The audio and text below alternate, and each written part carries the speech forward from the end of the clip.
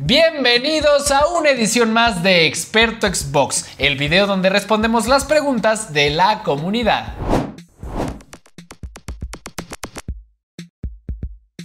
Si quieres disfrutar de títulos de Xbox 360 en tu Xbox Series S, puedes hacerlo en formato digital a través de la retrocompatibilidad. Solo ten en cuenta lo siguiente. Ingresa a la liga que te compartimos en la descripción de este video, para que conozcas la librería completa de todos los títulos compatibles con Xbox Series S a través de la característica de retrocompatibilidad.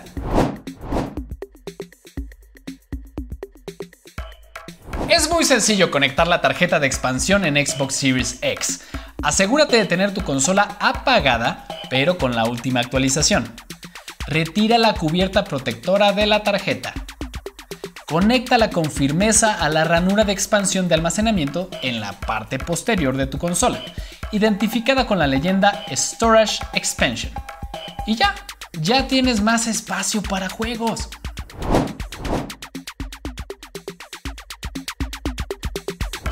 El cambio de contraseña de tu cuenta Microsoft lo puedes hacer en cuatro pasos.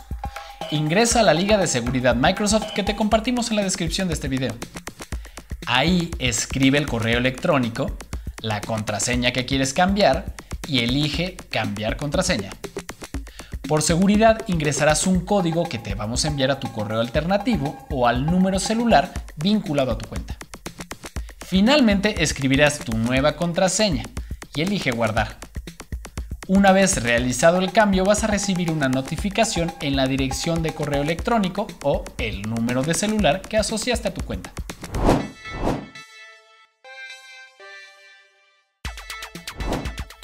Actualmente existen tres tipos de membresías de Xbox Game Pass, consola, PC y Ultimate.